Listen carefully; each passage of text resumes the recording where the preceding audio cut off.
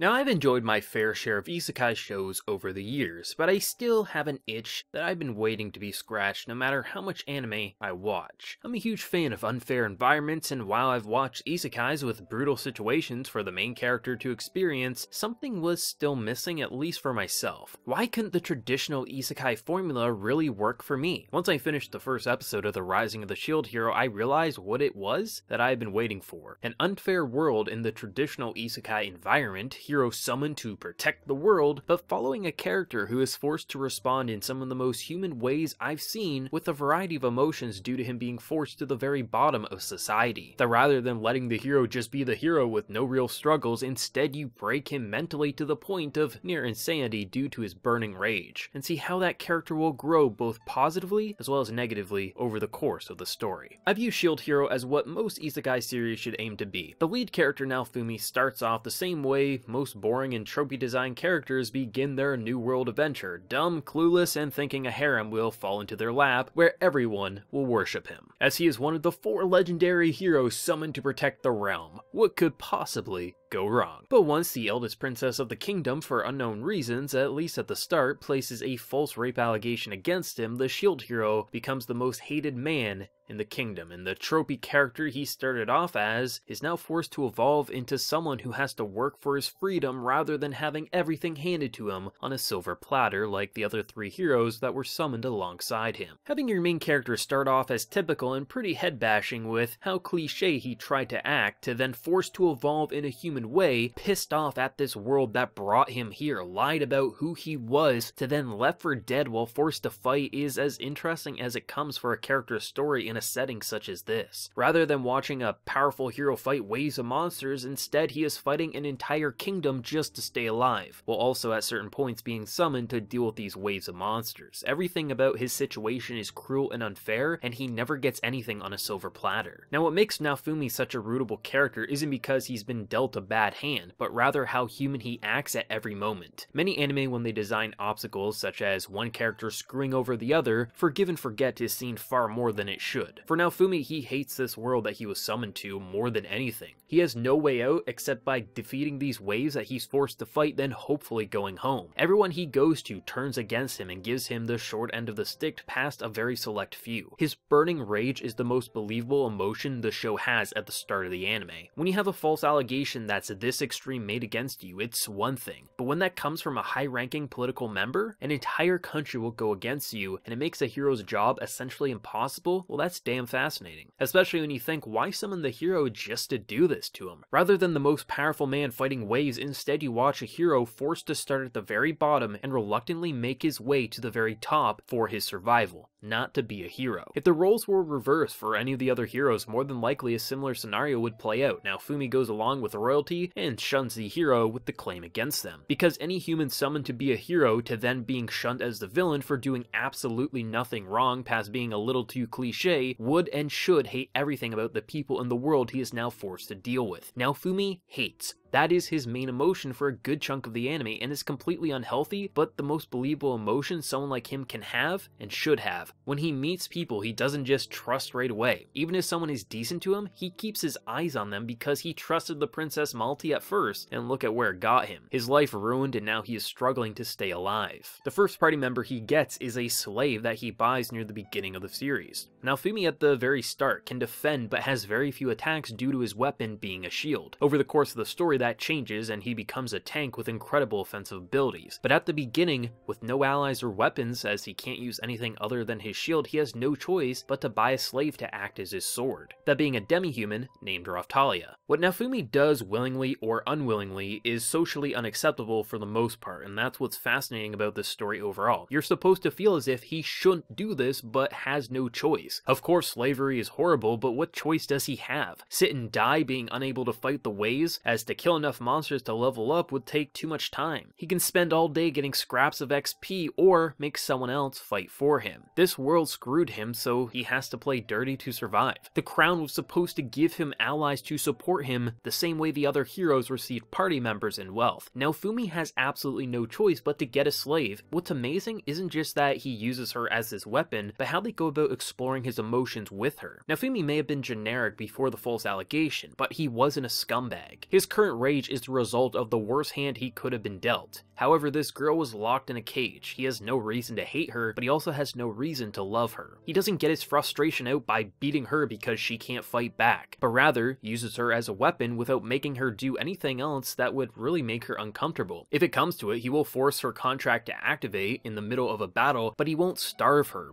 beat her, or make her into a slave like most would. Hell, if giving her a ball to play with will keep her happy, then she'll probably be better in battle. He simply treats her as an ally with no love or hatred present, at least at the start. A man who started off decent, turned villain because of events out of his control, naturally could trust again given enough time and reason, especially one so disconnected from the royal family who didn't do him dirty. For demi-humans, the shield hero is the top hero. Raphtalia quickly worships Naofumi because he freed her from the hell that she was in and gave her a purpose in life, reinforcing everything she was taught about the shield hero from when she was a child. Even when he could force her to act like a slave, at many points he decided to not push her because even if he tries to be cold 24-7, he can't at all moments because that's not who he is. But unfortunately, is how he's forced to act more often than not. The way the two bond over the season is quite amazing, especially because they have enough time and moments to prove why they can trust in the other. When Naofumi believes she would turn on him like the rest, she proves that no number of allegations will make her view Naofumi than anything less than what she's seen firsthand. Someone who cares for others, and she full-heartedly trusts in Naofumi even when the world turns against him again.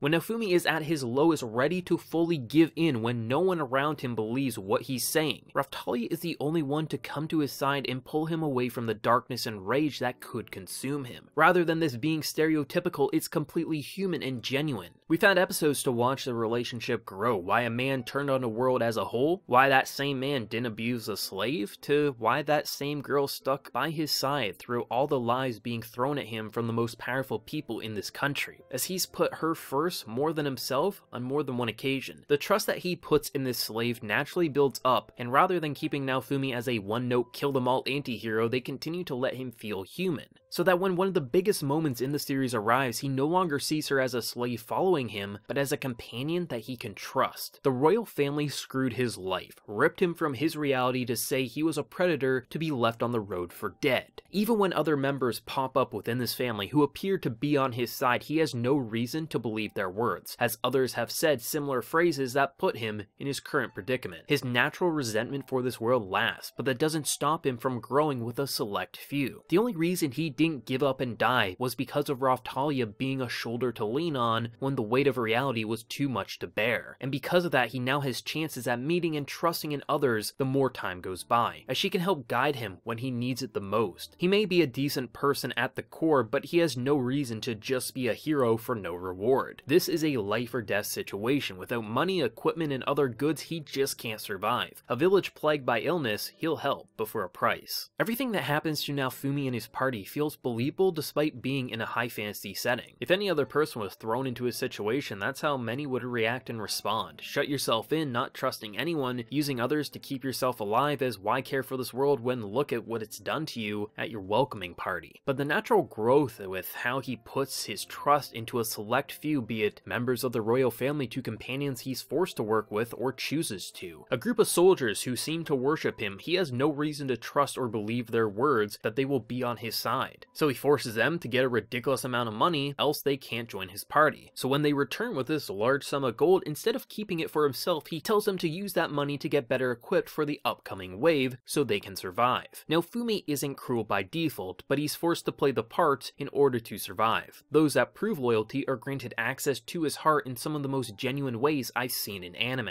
Rather than letting your lead character be multi-layered and human as everyone on Earth is, most stories give a one-note arc for them to follow, such as Naofumi is screwed over, Naofumi hates the world, Naofumi loves the world, the end. That's what you typically expect. But Naofumi tries to be the generic hero. He gets thrown away, starts to resent the world as a whole, and with each interaction, be it political or general villager, the way he opens up or shuts them out is different for each situation based on the person at hand. He isn't a fool, anyone can and probably will try to use him. But how he goes about helping and trusting in others feels unique each time because thanks to Raphtalia early on, rather than sticking to the hate all mentality, he has chances to trust in others, but because he isn't a fool, he doesn't trust easily. Sometimes that can be his biggest hurdle, as even Raphtalia can't get him to see reason at times due to his trauma from the past. Humans are complex, and how Naofumi is explored, despite being surrounded by monsters and demi-humans, is some of the most human and believable relationships I've seen in the anime medium. As great as the relationships are in this anime, the aspect that ties it all together would have to be the politics. At the very beginning, you can probably sum it down to as a king and his daughter are bitches and screwed over the hero they needed for some reason that's unknown. They hate the shield hero, so let's screw him over. However, that's not all there is to it. This is a matriarchy, so the queen is the top political figure. This explains why the princess's allegations were believed with no second thought. But where was the queen in all this, so she has to be okay with this nonsense? That's what many might think. This, however, is a very large world with many countries, and your country isn't the only one that matters. So as the story gets going, and though our focus is on Naofumi, we slowly learn how the other heroes were supposed to be summoned. That while the queen was out acting like a true ruler, working with other nations, the king took it upon himself to be a dickhead because of past experiences with the shield hero, and because some people are born with everything in the palm of their hands, they are scumbags with no compassion in their body, which is why you lose the right to be heir to the throne to your younger sister, because you suck that much. As you learn why the queen can't return and fix this mess, and it's up to Naofumi to come to her, you start seeing the grand picture, why the four heroes were summoned and why, if there are so many countries, did only one of them get all the heroes. The political landscape is a nightmare because of a king and his worst daughter, and it's up to a true ruler to fix it before punishing those that deserve it. The way demi-humans are hated in some countries but worshipped in others, the way different countries work together or hate the other because sometimes kings get too greedy for their own good, it's fascinating watching it all play out, with how each area functions different from the last both at a technical and political standpoint. Rather than just keeping the focus on Melromarc, the country Naofumi was summoned to, the world slowly opens up to see how big it really is and how it wasn't just Naofumi that got screwed over when the king was left in charge, but the world as a whole.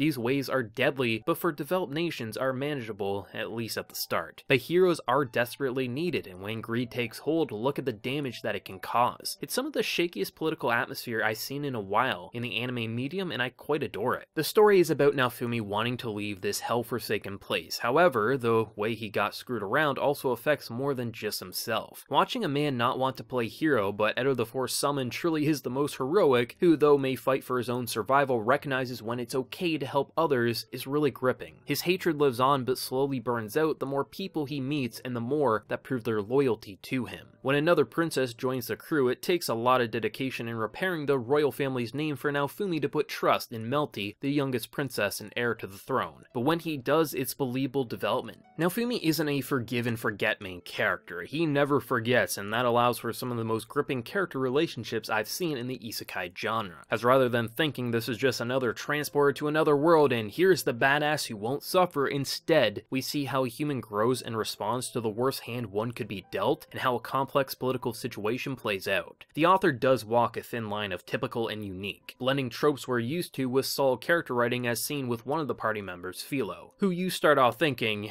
here we go again. But she's actually a pretty fascinating addition to this party, who rather than being a harem member like you might first start off thinking, she is actually a badass bird who loves Naofumi as the first thing that she saw when she hatched was him. And their growing relationship is quite charming and at many points hilarious. There's plenty of tropey situations surrounding her, but those aren't her defining moments, and luckily the author found a way to make them funny so I rarely was taken back by them. Naofumi was as cold as they come at least at the start, but when he has simple moments that allow him to smile and show genuine and heartwarming reactions, because at certain points he trusts in his party enough to let his guard down is really quite touching, as rather than accepting everyone who tries to be his friend, it takes him a long time to trust in anyone, whether that be a stranger's cooking to a potential ally ready for battle. His acts of kindness aren't forced, they're genuine, and that's the heart of Naofumi, how genuine he is. Whether that be a negative or positive emotion, how he grows over the season and how much farther he has left to go is what keeps the Rising of the Shield Hero gripping all the way to the home stretch. Tied together with fascinating politics, and you have a recipe for success. Shield Hero reminds you at every moment why characters act the way they do, why the other heroes refuse to see this as reality and not a game. When you see it from their perspective, you see what most would view as a game HUD. To all the mechanics that make it seem artificial, but because only Naofumi had to treat this as reality at the start, the others stay dense, but for believable reasons. The other heroes, the king, the worst curl, they may be infuriating, but you need those characters that suck on every level but for reasons that ultimately make sense, which then give our characters absurd obstacles to face off against. Just fighting waves of enemies is one thing, but the human antagonists are another that help to keep this exciting. The series may not take your breath away visually, but it manages to grip you, walking a nice line between artificial and reality, such as with the HUD mechanics and other game features you're typically used to, which allow for